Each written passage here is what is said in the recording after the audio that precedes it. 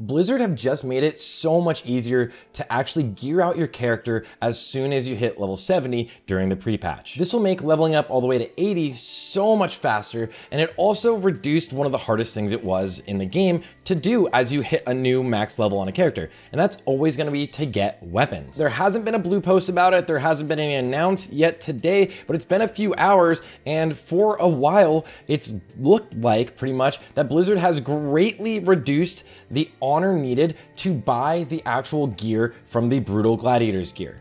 So your season four gear, Blizzard has drastically reduced the honor by like almost 60%. Two-handed weapons were costing almost 30k honor and now they're at 19k honor. Now this seems like one of the most simple and obvious things in the game and realistically that's because it is. I think there's a lot of guides out there talking about how to gear your character for pre-patch and I'm actually working on one that's realistic and how the best ways to do it. But there's a lot of things going around like farm your revered or honored reputations so you can get the blue gear, the blue PvP gear. That is a massive waste of time. There's no point in doing that whatsoever when in one afternoon you could get two or three pieces of your Brutal Gladiators gear, which this gear is not as good as their Sunwell gear, but it will hold up extremely well. It literally will hold up until you're around level 75 when leveling. And the weapons themselves, like let's just say the two-handed sword for an unholy death knight that wants to level up, you are using this and it is your third best weapon in the entire game. The only things better are gonna be weapons directly out of Sunwell. So if you wanna get your weapons, if you wanna get your one-handed weapons, if you're a caster, it doesn't matter what class class you are,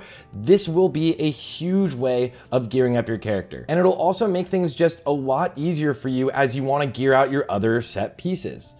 After that, you're obviously gonna wanna do heroics, you're gonna wanna do raids, but the most contested things in raids, even if you are going in with a ton of gold, is always gonna be the weapons. And this is gonna be the most expensive thing if you went in GDKPs or if you were in a guild run, you're basically gonna see everybody fight over the weapons. So if you can take those out with one afternoon of PvP, then you have set yourself up completely for leveling up all the way to 80. Now, we still haven't seen anything about this from Blizzard themselves, and that just means they're probably taking some more time to release patch notes for what they did today on the beta, and this will jump you in a massive boost in actual DPS or strength right at level 70. And realistically, guys, I'm serious, it is gonna be so easy to farm this, especially when there's like an AV weekend, and if you're not even farming this gear, maybe just go into the battlegrounds and stock up on honor anyways, because it's gonna be super fun if you are fully geared to walk in and absolutely destroy everybody who has absolutely no gear. And then from there, you'll move on to the raids and so on and so forth. I do wanna say really quickly, I am putting together a full guide of how you can gear up your character fast and all the mistakes you don't wanna make when you hit level 70, but that will be coming out in the next couple days.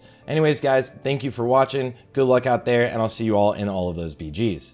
Oh yeah, guys, and one last thing I want to mention is make sure to like and subscribe to the channel so you can stay updated on all the news on Wrath of the Lich King, but also the guides. There's going to be a new Hunter guide for Marksman coming out for Wrath of the Lich King, and then I'm also having a couple pre-patch character guides coming soon so you can know how to gear your character, how to play the character, what's your rotation, all of that. So just like, subscribe in the comments. I don't know, man. Either way, I'll see you guys all out there.